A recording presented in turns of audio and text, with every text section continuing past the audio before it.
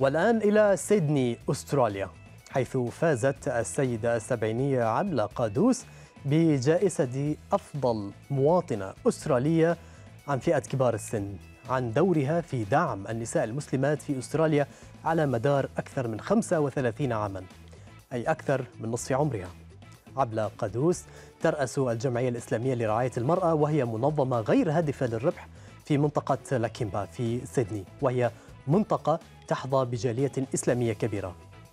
قبل أن نلتقي بالسيدة أو الحاجة عبلة قادوس كما تحب أن يناديها متابعوها دعونا أولا نشاهد لحظة التتويج الرسمي لها بجائزة أفضل مواطنة أسترالية عن العام الجديد 2022 نتابع. New South Wales Senior Australian of the Year. 2022 Senior Australian of the Year for New South Wales is Abla Kadus.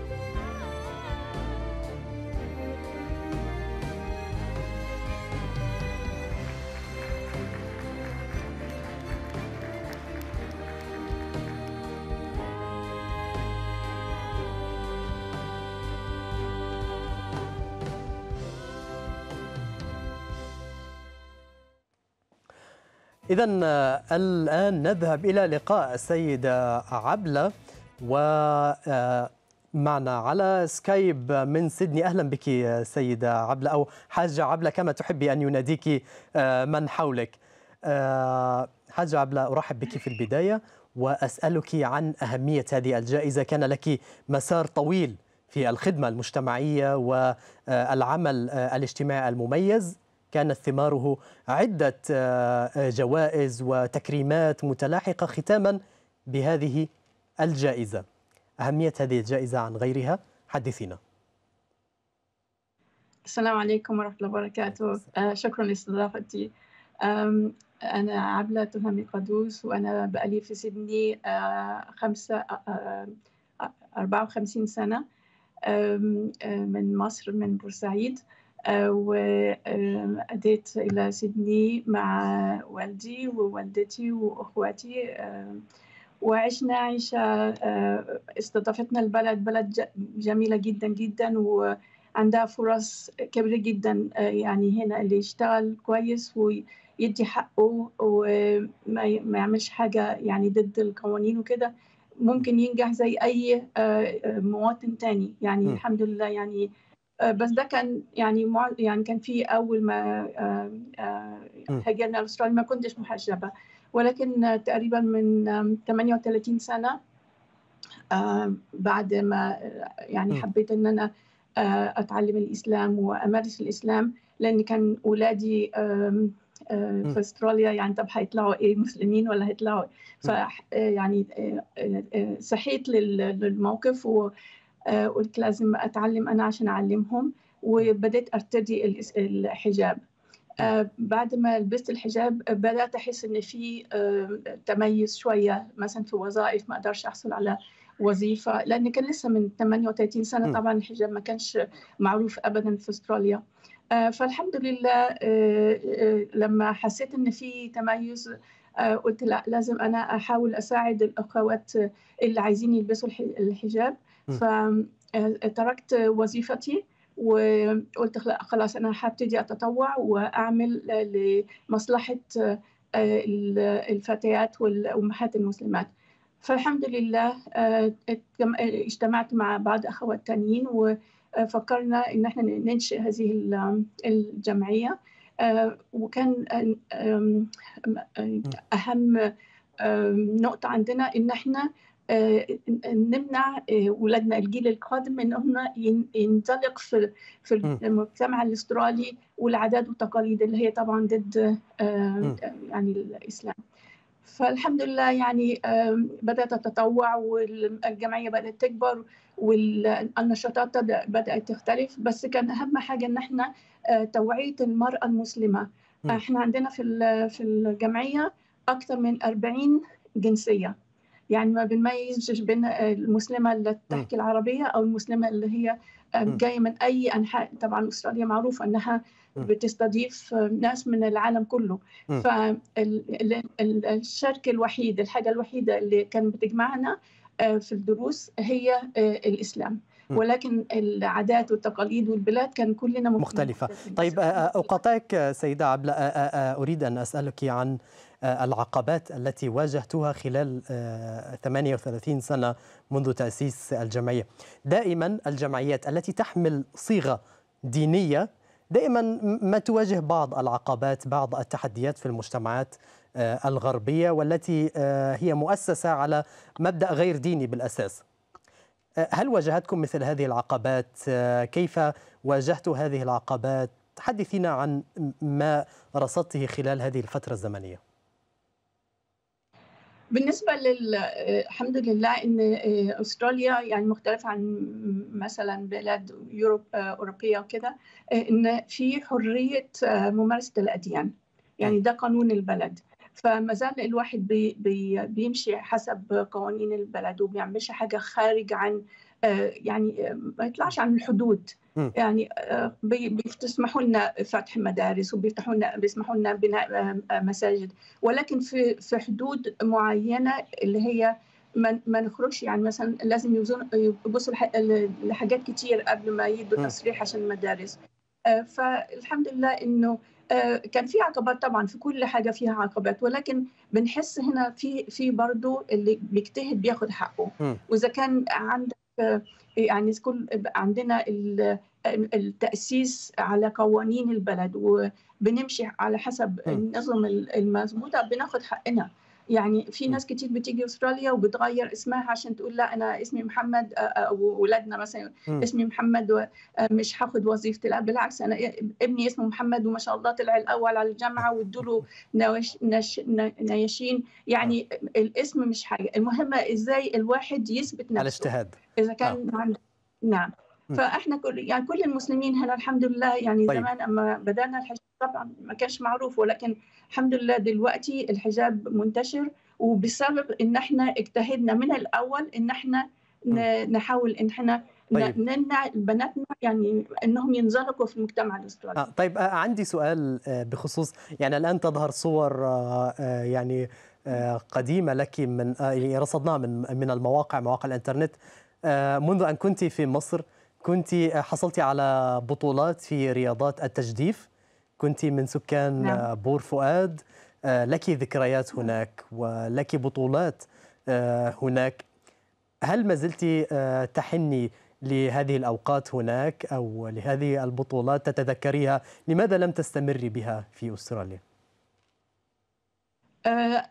أول ما طبعا رياضة التجديف كانت ما كنت في فؤاد وكان والدي هو المدرب لنا في التجديف وحصلنا على المستوى ده. ولكن خلال التدريب على إن إن أنا أوصل للمركز ده في لبطولة الجمهورية في في التجديف إن والدي يعني اتعلمنا حاجات كتير جدا. اتأسسنا على الالتزام والطاعة والتمرينات في وقت معين والدراسة في وقت معين وأكل اكل معين. فدي أعطتني تأسيس جامد جدا. هو على اساسه إن أنا لغاية دلوقتي ماشية في, في تنظيمي وفي في الجمعية اللي أنا أديرها إن أنا بلتزم يعني بفتكر إزاي كنا اتأسسنا. وحتى الرياضة ما زالت في دمي. يعني أنا أول ما جيت أستراليا كملت تأديف هنا. ولكن تزوجت وأولاد وكده فبطلت. ولكن الدم الرياضي ما زال فيا ودايما أفكر في النشاطات اللي بنعملها للبنات إن أنا يعني عندنا فريق سيلف ديفense وعندنا فريق كورة. يعني بدخل البنات دايما نشاطات المدرسية العطلات العطلات المدرسيه آه رياضية. في في أنشطة رياضية متنوعة. دايما أدخل الرياضة فيها لأن أنا حاسة إن طبعا زي ما بيقولوا العقل السليم في الجسم السليم م. يعني طيب. فأنا بحاول البنات م. يعني إنهم يوصلوا للمراكز دي عندي سؤال أيضا الماضي أيضا والذكريات قبل هذا اللقاء قرأت عنك كثيرا قبل أن نجري هذا اللقاء تحدثت في لقاءات صحفية سابقة عن أهمية اختلاطك بجنسيات متعددة أثناء وجودك في مصر بحكم المنطقة التي كنت تعيشي بها هناك كيف ساعدك هذا في الاندماج السريع مع مجتمع كالمجتمع الأسترالي؟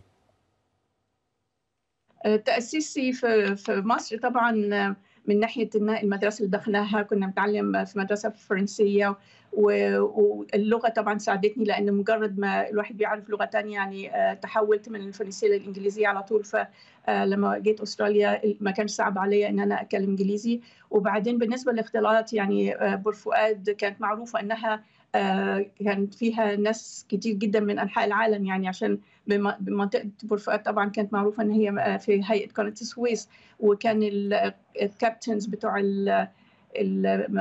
البواخر اللي بتفوت آه. في قناه السويس كان لازم يكونوا من جنسيات يعني كان في فرنسيين وجريك وايطاليين فجيراننا كلهم كانوا من جنسيات مختلفة. صحباتي في المدرسة زملاتي في المدرسة كلنا كنا مختلفين في الجنسيات. كنا يعني صحاب يعني. ما كانش في ولا الدين ولا ولا الدين ولا الجنسية كانت بتأثر معنا. كبرنا في جو يعني فعلا مختلف الجنسيات وده اللي واجهته لما جيت سيدني طبعا كل سيدني كلها مبنيه على اختلاف الجنسيات. فالحمد لله إن كان الاندماج في. في المجتمع الأسترالي ما كانش يعني settling يعني في أستراليا ما كانش صعب بالنسبة لنا لأن الحمد لله إن جينا من منطقة كان فيها الاختلاط ده منتشر. طيب. يعني الحمد لله. أذهب إلى نقطة أخرى تماما. آه هذا البرنامج برنامج يرصد كل ما هو على مواقع التواصل الاجتماعي. أنا وصلت إلى خبرك وهذه القصة وعن المقالات التي كتبت عنك من خلال مواقع التواصل الاجتماعي أو السوشيال ميديا باللغة الإنجليزية. الآن هذه المواقع المنصات فيسبوك وتويتر وإنستغرام وغيرها. آه رصد عليها حالة جديدة آه من روادها يسموا أنفسهم بالمؤثرين. في الحقيقة هم مجرد من ينشرون بعض الفيديوهات منهم من يقوم بأعمال على أرض الواقع. ولكن أبحاث كثيرة كتبت أن قد يكون لهم تأثير سلبي بحكم عدم الواقعية لأنهم ينشرون على منصات افتراضية. إذا قارنا العمل المؤثر مجتمعيا كما تقومي بما تفعليه الآن في أستراليا حصدت هذه الجائزة من خلاله. هذا العمل الملموس. الفعلي إذا قارناه بالحداثة الآن في فكرة التأثير. هل هناك ما تنصحي به الجيل الجديد من المؤثرين؟ طبعا الميديا أو ال social media ذو حدين يعني زي زي بيقولوا يعني طبعا في منها الاستفادة كبيرة جدا جدا ومش ممكن نتخلى عنها دلوقتي. يعني إحنا في زمن إن ال social media له تأثير جدا على حياتنا. ولكن في نفس الوقت ممكن الناس تأثر علينا بأشياء سلبية. فإحنا لازم يكون عندنا القدرة إن إحنا ننتقي إيه المهم اللي ممكن يساعدنا في حياتنا. ولكن ما ننجرفش ونفضل نبقى ادكت للسوشيال ميديا وتاخد معظم وقتنا في حياتنا. يعني في يعني في بيوت كتير جدا يعني بيدوا لأن كانت فعلا يعني في في خراب بيوت يعني إذا كان الزوجة والزوج الأب والأم قاعدين طول الوقت على والولاد برضه على حاجة تانية. فيعني بنحاول ندرج التوعية بإن في البيوت مثلا ندي ساعة مثلا للسوشيال آه. ميديا. الكل قاعد مع بعضه خلاص يعني افهم أفهم من هذا أستاذة عبلة أنك في الجمعية بما أنكم تحلوا المشكلات للفتيات هل واجهت مشكلات فعليا جاءت إليك؟ هذه المشكلات أسبابها ال social media؟ نعم يعني آه لسه في ذهني آه واقعة من آه السبت الماضي. أم اتصلت بيا ام عربية يعني. واتصلت بيا وقالت لي بنتي تركت البيت. وبليز كلميها وفهميها ودي عاداتنا وتقاليدنا وكل الكلام ده. فاتصلت بالبنت فقالت لي لا أهلي ضاغطين عليا كتير ومش بيسيبوني أستعمل التليفون ويعني الاسلوب الأهل طبعا لازم يكون في لازم نتدرج مع مع الحياة. فيكون فيها طبعا النظام ولكن ما يكونش فيها سلبية كاملة. ما نقدرش ندفع الناس من اولادنا من التليفون أو من يروحوا على الميديا وكده. فالمهم وصلنا لدرجة إن إحنا حاولنا نرجعها البيت. فلما رجعت البيت حاولت أروح أكلمها كمان وأشوف إيه الموضوع معها. قالت عن طريق ال social media اتعرفت على شاب. وتركت البيت عشان تروح تتجوزه.